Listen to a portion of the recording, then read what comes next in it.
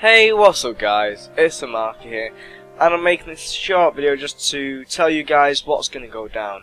Basically, as of late, I, I'm getting close to my um, university assignment deadline, so I need to put a lot of time into these because, you know, I want to make it to second year of university. So, because I want to do that, it's going to take quite a bit of work.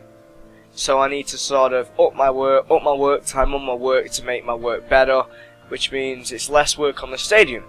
Because it's less work on the stadium, it's less work that I can produce on the stadium per week, which then it's going to take a lot longer to the stadium. I've attempted this before, but I've never stuck with it because I really do not like building with it. But if you remember with Wembley, I, I, think it was the start of Wembley, I can't remember, I decided to use MC Edit. If you don't know what MC Edit is, it's similar to World Edit, so I can sort of build the whole line instead of having to go all the way down and go do do do. I can copy and paste stuff, all this sort of stuff. I'm considering using that to um, to attempt to build Twickenham.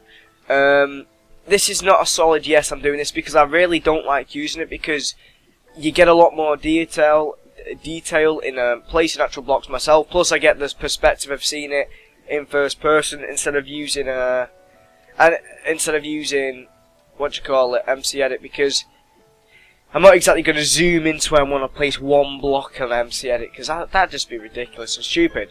But guys, I'm considering using it. If I do use it, I will let you guys know, because, you know, I'm, I'm not used to using it to build stadiums. I, I prefer building stadiums with hand.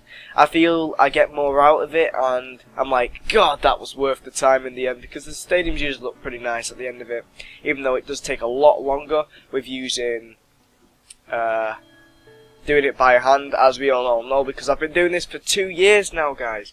Two years. It is the 18th today. It was like three days ago or something that I uploaded my first uh, video, which was on 2011, something like March 15, 2011, which was Old Trafford Part 1. So yeah, that was a great thing. And it's been two years, we're almost, we're almost hitting 2,100 subs, which is awesome.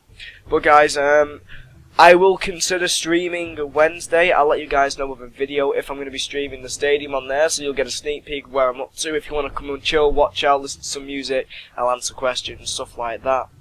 But I'm going to end it here, guys. Also, uh, the game you see in the background, this this is called A Walk in the Dark. It's an indie game. It's uh, currently on Steam Greenlight, trying to get on Steam. It's a it's a beautiful game. The soundtrack is really soothing.